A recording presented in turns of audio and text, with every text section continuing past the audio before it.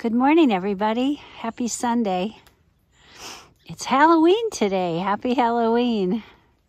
And it's not raining. Mako and I are out in the woods. Yeah, I'm excited. We're going to hike. I don't know.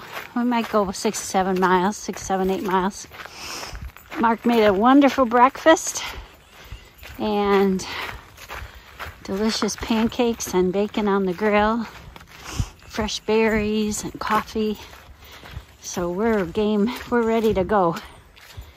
We live in the coolest spot. Um, I'll take a picture sometime of our travel trailer. We live on Norris Lake and our area, this watershed where I hike with Mako and am training for the my through hike this coming spring is only eight miles from where I live. So this is my backyard, I consider it. And I love coming over here.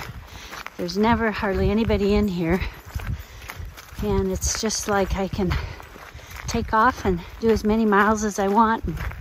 all different terrain. And I know it's not the AT. It's not as difficult as the AT.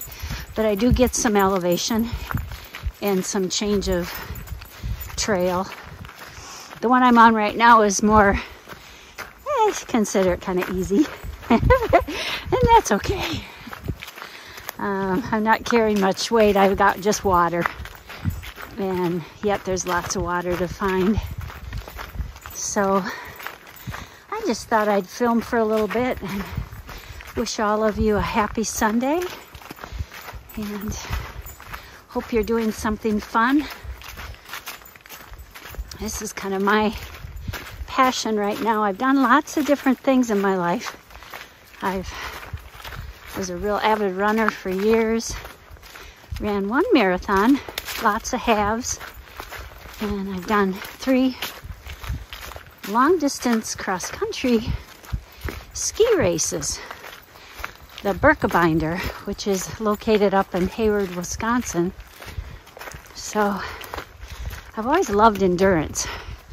So when I started watching videos on people hiking the Appalachia Trail and um, I started hiking with Mako, I thought, wouldn't that be something? Wouldn't that just be amazing to do something like this?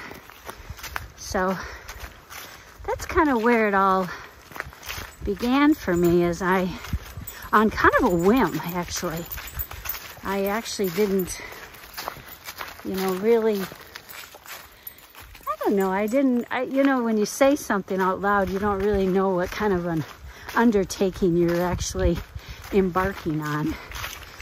But sometimes that's all it takes, is just to put that out there.